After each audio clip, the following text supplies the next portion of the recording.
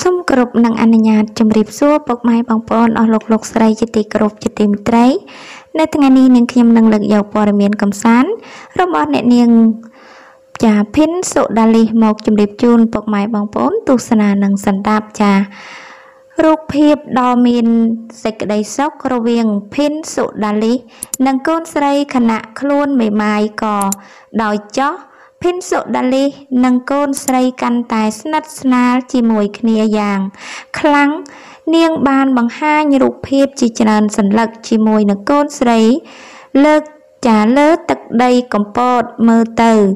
អ្នកទាំងពីរពិតជាមានភាពសប្បាយរីករាយនិងមានស្នាមញញឹមយ៉ាងមានសុភមង្គលទៀតផង អ្នកនាងភិនសុដាលី ជាតារាស្រី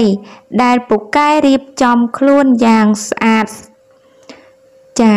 គួរឲ្យតេទៀងគ្រប់ពេលវេលាតែម្ដង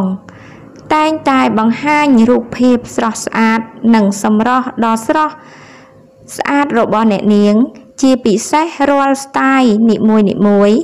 ដែលនាងបានបង្ហាញសិតតែលេចធ្លោគួរឲ្យតេទៀង យ៉ាងណាមិញបច្ចុប្បន្នតារាស្រីល្បីឈ្មោះរូបនេះ កំពុងតែកសាងជីវិតថ្មីក្រោយមានឈ្មោះជាស្រីមេម៉ាយដោយពេលនេះនាងក៏មានចានាងក៏បានចាសំទោសនាងក៏មានកូនស្រីម្នាក់គួរឲ្យស្រឡាញ់ហើយកូនស្រីរបស់អ្នកនាងក៏មានមុខមាត់ស្រស់ស្អាតខ្ជូតនិងគួរឲ្យខ្នាញ់ទៀតផង